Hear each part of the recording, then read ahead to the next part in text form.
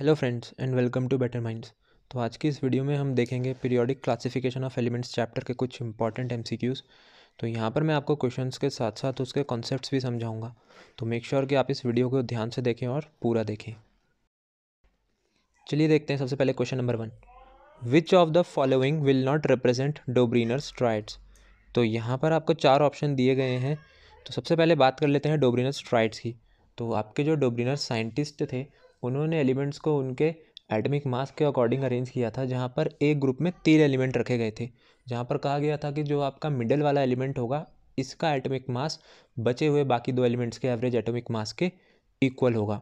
तो यहाँ पर आपका जो सही आंसर है, वो है ऑप्शन नंबर डी। अब देखते हैं question number two. Up to which element the law of octaves was found to be applicable? तो यहाँ पर जो आपका करेक्ट आंसर इसका वो है आपका कैल्शियम, जो आपका न्यूलैंड का लॉ ऑफ़ ऑक्टेव था, वो सिर्फ़ कैल्शियम तक ही एप्लीकेबल था। अगर बात करी जाए न्यूलैंड लॉ ऑफ़ ऑक्टेव्स की तो यहाँ पर ये कहा गया था कि आपका जो फ़र्स्ट एलिमेंट होगा, वो एट्थ नंबर के एलिमेंट की जैसी प्रॉपर्टी शो करेगा। या बोला जाए कि हर एक एलिमेंट अपने से एट्थ नंबर पर पढ़ने वाले एलिमेंट की जैसी प्रॉपर्टी रखेगा।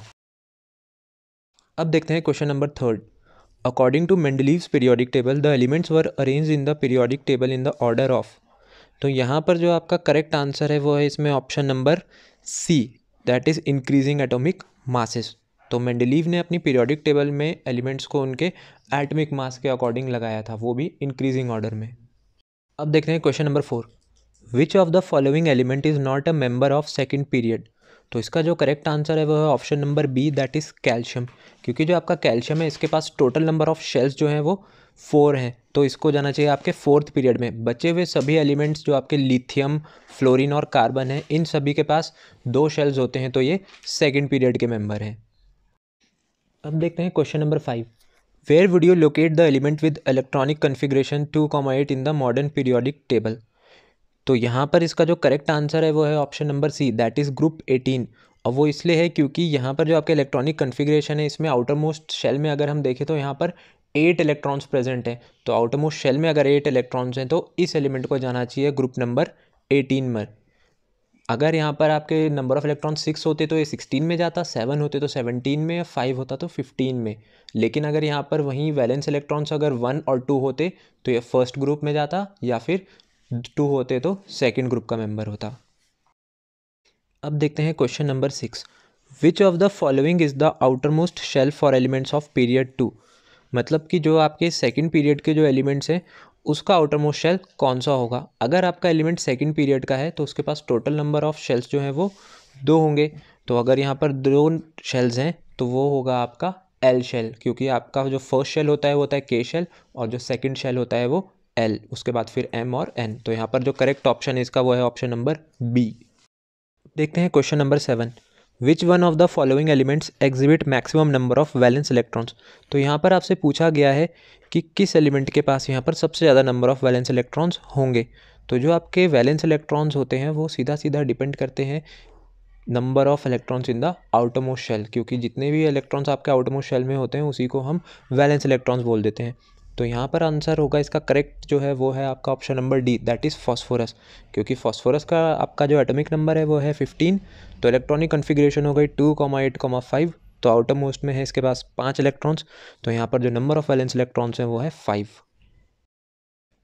अब देखते हैं question number eight which of the following statements is incorrect for atomic size तो यहाँ पर आपसे पूछा गया है कि कौन सी स्टेटमेंट एटमिक साइज़ के लिए यहाँ पर इनकरेक्ट है। तो इसका जो सही आंसर है वो है option number A that is atomic size of boron is greater than beryllium तो चलिए बात कर लेते हैं एटमिक साइज़ की। तो जैसा कि हमें पता है कि जो आपका एटमिक साइज़ है वो अलॉन्ग द ग्रुप तो इंक्रीज़ करता है, लेकिन अलॉन्ग द पीरियड वो डिक्रीज़ करता है, क्योंकि बेरेलियम और बोरॉन सेम पीरियड के मेंबर है, जिसमें कि आपका बेरेलियम पहले आता है और बोरॉन बाद में। तो बेरेलियम का जो एटमिक साइज़ है वो बोरॉन से ग्रेटर होना चाहिए। तो इसलिए यहाँ पर जो इनकरेक्ट ऑप्शन है, यहाँ पर वो है ऑप्शन नंबर ए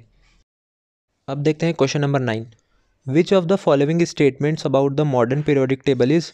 correct तो यहाँ पर इसका जो सही ऑप्शन है, वो है option number C that is it has eighteen vertical columns known as groups क्योंकि आपकी मॉडर्न पीरियोडिक टेबल में एटीन ग्रुप्स हैं और सेवन पीरियड्स हैं। तो यहाँ पर जो सही ऑप्शन है, वो है ऑप्शन नंबर सी अब देखते हैं question number ten select the correct pair that have largest and smallest atomic size respectively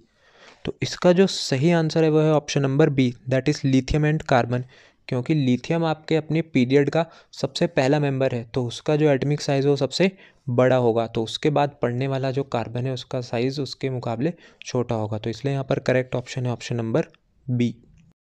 देखते हैं question number eleven what type of oxide would E का एल्यूमिनियम फॉर्म तो इसका जो करेक्ट ऑप्शन है, वो option number C that is E two O three क्योंकि जो आपका एल्यूमिनियम होता है, उसकी वैलेंसी होती है थ्री और ऑक्सीजन की वैलेंसी होती है टू तो जब आप क्रॉस मैच करेंगे वैलेंसीज़ को तो यहाँ पर आपका जो आंसर आएगा, वो आएगा ई टू ओ थ्री अब देखते हैं question number twelve which of the following property increases down the group तो यहाँ पर आपसे पूछा गया है कि कौन सी प्रॉपर्टी आपकी, अगर हम अलॉन्ग द ग्रुप मूव करते हैं तो वो इंक्रीज़ करेगी. तो यहाँ पर जो करेक्ट ऑप्शन है, वो option number D that is both B and C चलिए देखते हैं कैसे। देखिए, जो आपका एडमिक साइज़ है, वो डाउन द ग्रुप आपका इंक्रीज़ करता है। और जब हम डाउन द ग्रुप मूव करते हैं तो इलेक्ट्रोनेगेटिविटी डिक्रीज़ करती है। अगर इलेक्ट्रोनेगेटिविटी डिक्रीज़ कर रही है तो इसका मतलब जो आपके इलेक्ट्रो पॉजिटिव नेचर एलिमेंट का वो इंक्रीज़ कर रहा है। इसलिए यहाँ पर जो करेक्ट ऑप्शन है, वो ऑप्शन नंबर बी और सी तो दोनों को कंबाइंड फॉर्म में यहाँ पर ऑप्शन नंबर डी आपका करेक्ट हो गया। तो ये थे आपके कुछ important M C Qs periodic classification of elements chapter से। आई होप कि आपको ये वीडियो पसंद आई होगी। सो वीडियो को लाइक करें, अपने फ्रेंड्स के साथ शेयर करें और चैनल को सब्सक्राइब करना ना भूलें। चलिए जल्दी मिलते हैं हमारी नेक्स्ट वीडियो में। So till then keep learning